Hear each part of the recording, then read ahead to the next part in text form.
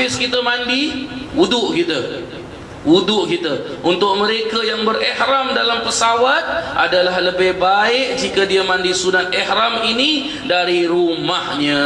Ha, ya. Bukan wajib mandi ni sunnah. Ini adabnya ya. Sebelum dia nak keluar rumah tu dia mandilah. Ha, dia mandilah. Ustaz kalau saya nak mandi tapi saya nak pakai shampoo boleh tak ustaz? Ha, macam mana ni lepas dah pakai shampoo saya nak pakai sabun wangi-wangi boleh tak ustaz ha, Lepas tu sebelum saya pakai ihram Saya nak pakai wangi-wangi Boleh tak Ustaz? Baru saya pakai ihram Baru lepas tu saya jatuhkan niat Bila dah sampai pada tempat mikat Saya jatuhkan niat Ustaz Boleh tak Ustaz? Ha, kita tengok nanti macam mana Boleh ke tak boleh?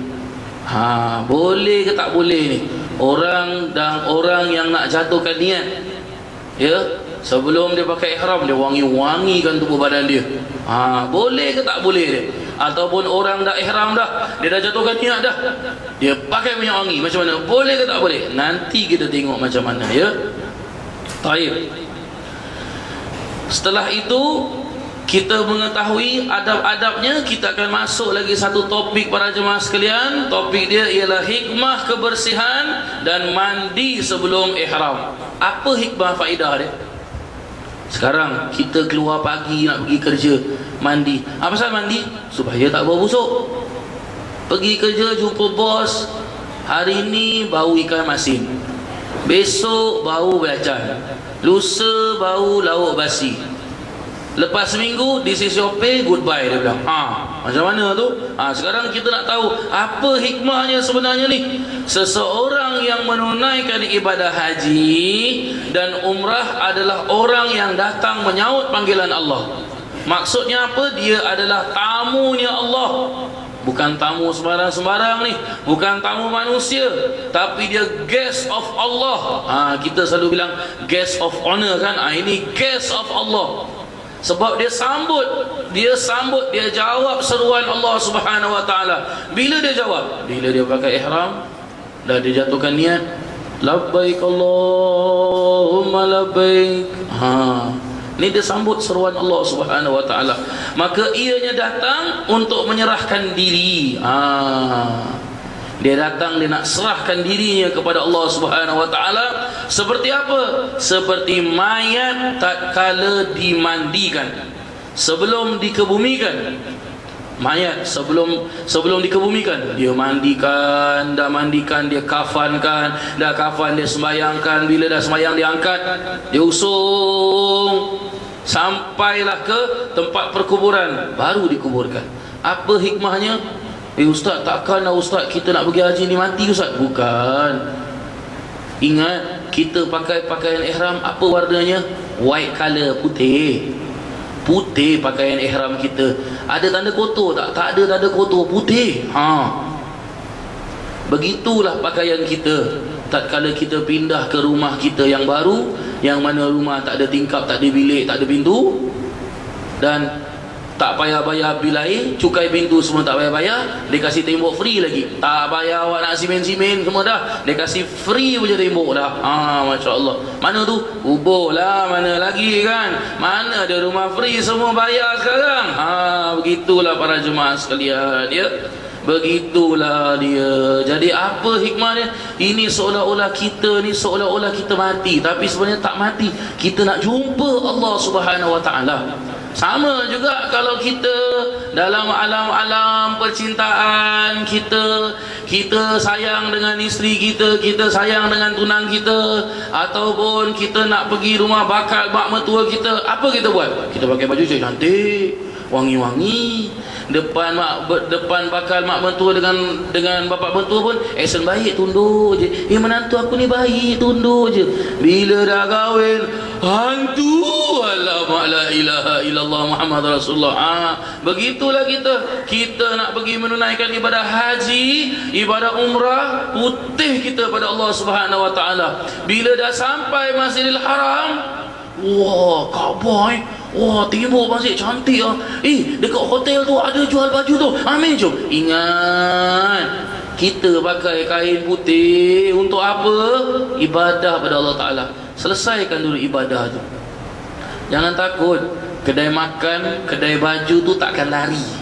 dia ada kat situ juga ha, tinggal bila dah habis dah ibadah kita keluarkanlah apa duit yang ada pun apa kad yang ada yang boleh slice slice lah kad tu tak apa. Ha, begitulah para jemaah sekalian ya. Namun Allah subhanahu wa ta'ala tidak hanya melihat kepada zahir saja.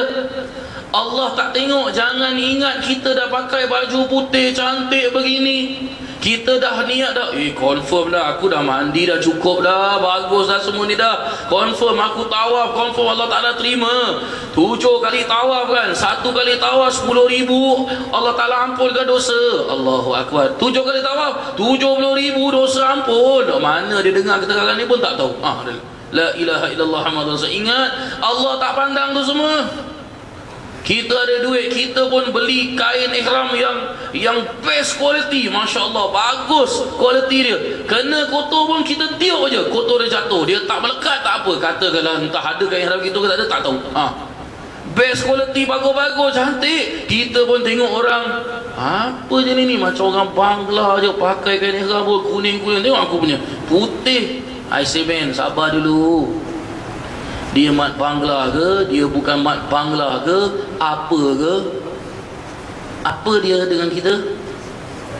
Orang Islam memanglah orang Islam. Tapi apa dia dengan kita? Hamba Allah. Kalau dia mat bangla kita pun mat bangla juga sama juga. Ha ni dia. Ini dia. Kita pun hamba Allah SWT Ini semua berdasarkan sebuah hadis Nabi SAW yang masyhur menjelaskan innallaha la yanzuru ila suwarikum wa amwalikum walakinallaha yanzuru ila qulubikum wa a'malikum. Ha ni dia. Sesungguhnya Allah tak tengok apa dia bentuk kita, rupa kita, harta kita, handsome ke, jambu bin batu ke, apa ke, tak ada Allah tak tengok. Tetapi Allah Subhanahu wa taala lihat apa? Ila qulubikum, hati-hati kamu, wa a'malikum dan amalan-amalan kamu. Kalaulah kita punya hati ke sana hanya untuk jalan-jalan, jalan-jalan dah dapat kita. Kita dah tahu kan hadis Nabi sallallahu alaihi wasallam kalau kita buka bab sebelumnya ha, dua bab sebelum bab yang ketiga ataupun bab yang keempat. Ada sepotong hadis Nabi SAW menjelaskan apa? Akan datang satu zaman umat aku pergi haji terpecah menjadi empat golongan ha, kita ingat kan yang ini begini yang ini begini yang ini begini yang ini begini Mudah-mudahan empat-empat golongan tu kita tak termasuk. Ah, begitulah para jemaah sekalian, ya. Mestilah kita sucikan hati kita, bersihkan batin kita. Banyak-banyak istighfar, banyak-banyaklah kita, banyak-banyaklah kita bertalbiah pada Allah Subhanahu wa taala. Banyak-banyaklah kita berselawat pada Nabi sallallahu alaihi wasallam. Begitu seharusnya ya. Ini semua kalau kita buka dalam kalau kita buka dalam dalam kitab kita ada ada ada pembicaraan antara Syekh Abu Bakar Shibli ataupun Syekh Shibli rahmatullah alaih dengan muridnya ya yang menjelaskan adakah kamu mencuci diri kamu dengan bermandi dan berwudu? Iya saya mencuci diri saya dengan cara demikian. Pada ketika itu adakah kamu juga mencuci suci daripada semua dosa dan kesalahan kamu?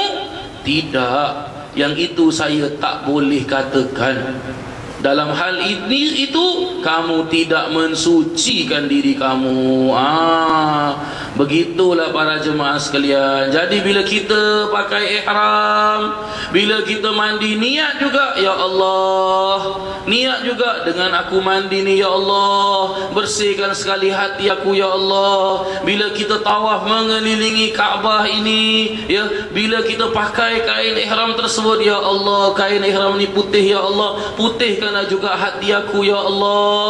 Ha, Begitu seharusnya. Jangan kita Pakai ihram tunjuk lagak dengan orang. Allahu Akbar. Tunjuk-tunjuk lagak Mak-mak kata tak sadar tahu-tahu kain ihram terlepas. Kalau kalau terlepas atas apa? Terlepas yang bawah? Allahu Akbar. Eh apa pasal sejuk je masuk angin ni? Ha ni dia. La ilaha illallah Muhammad Rasulullah eh? Taib